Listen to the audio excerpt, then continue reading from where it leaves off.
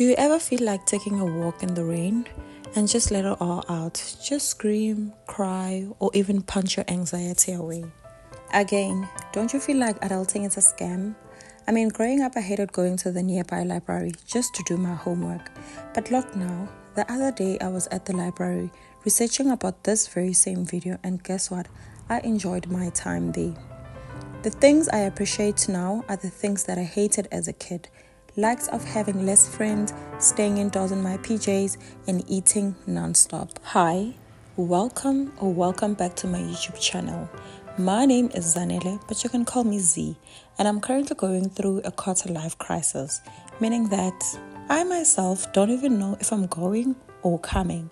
I don't even know what makes me happy, and I also don't know what's going on with me in my life. So basically, I am lost in my 20s. I don't know if 20s are supposed to stress the living shit out of me so my 30s can be better. Who knows? It might even get worse. Lately, I've been thinking so deep about my future, career, kids, marriage, and all those other serious life stuff. And I came to a conclusion that, damn, I am so lost in my 20s. Look, growing up, we were all told and taught a very simple life formula that we need to go to school and pass with good grades graduate with a high demanding degree, then start the system called life with your high school sweetheart. And very true, we were all given that opportunity at the age of 16 in grade 10. Wait, how can I make that life death decision at that age? I mean, I'm clueless. As you're watching and listening to this video, don't think that I'm here to give you some sort of a solution to your 20s. In fact, I'm here to confuse you more. Yep, I said that.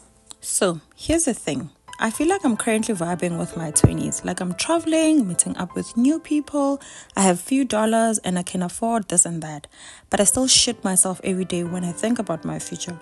On the very same breath, we still have those influencers and content creators that get to confuse me more by buying or changing cars every month, travel down to tropical islands with their beautiful BBL's booties, and still snap beautiful flawless pictures on the gram. Please don't advise me. I do know that social media is so unreal and fake, but I still do feel the pressure, okay? I don't know, man. Lately, I've been hating taking phone calls, alcohol, dates, meaningless conversations with certain people.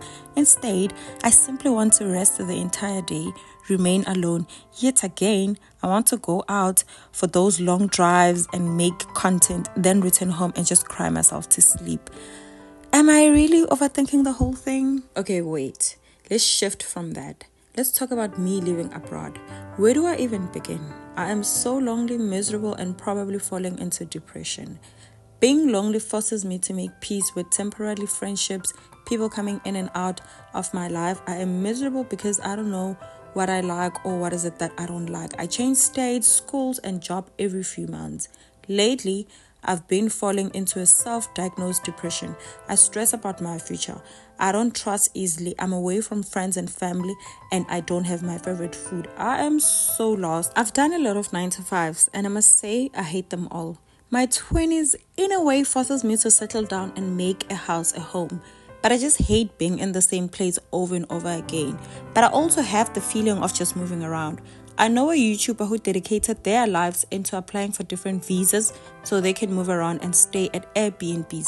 Deep down, I don't blame them. I mean, I like the idea of buying a house. It's beautiful and cute. But once I get bored of seeing the same walls every single day with somebody's son and a stranger that I push out of my vagina at the hospital after nine months, guys, am I the only one who's feeling this way?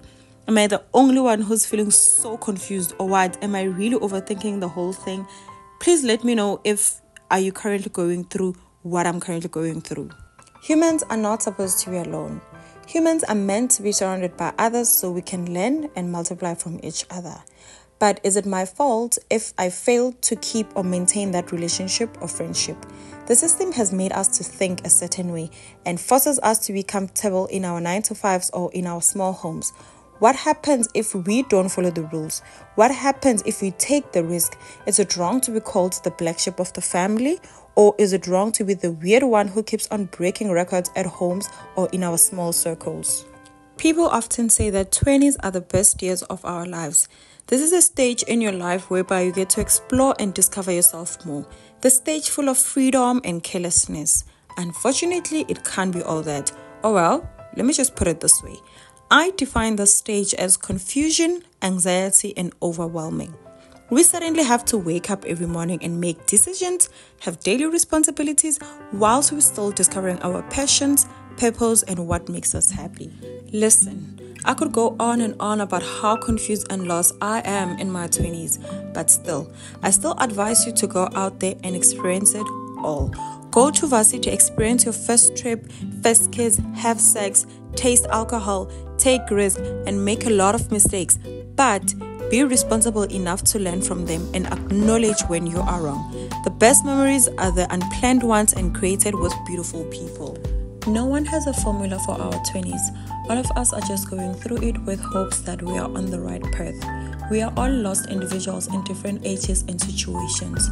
These are the times of trying something new and discovering your purpose and passions. These are times of allowing people to come in and out of your life because I personally believe that we all meet different people for different reasons, good or bad.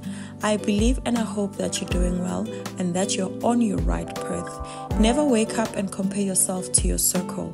Always and forever compare yourself to the person you see in the mirror. Again, go out there and live your 20s to the fullest, but just don't die. I want to be happy. I want to discover myself more and explore this beautiful world. I want to continue to challenge myself and improve on my skills. I'm still discovering my purpose in this world, but for now, I am enjoying the last few years of my 20s and I hope you'll do the same. There are so many opportunities out there. Go grab them and do something about them and stop procrastinating. It's very important to accept all these changes and rollercoaster of emotions. It is also okay to be lost and confused in your 20s, and it is very much okay to acknowledge and embrace your situation. It will get better. Maybe it's called growth.